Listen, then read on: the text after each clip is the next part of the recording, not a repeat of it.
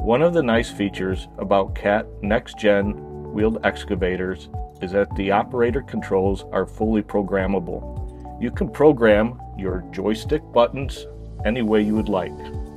So to program your joystick buttons, you first have to go into the settings menu. Hit OK. Operator settings. You can change your operator input configurations, your left joystick, your right joystick, as well as your lever pattern. Let's change our right joystick. All you do is hit right joystick and then you can program any one of the buttons using a touch screen. So on here, we'll assign cruise control and you can see it's activated now.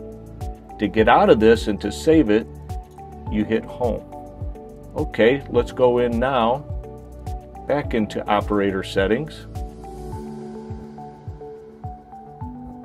Operator inputs and configurations, and you can change your lever pattern. Say you don't want ISO slash JIS, you click on that and you have a number of options that you can to meet operator preference.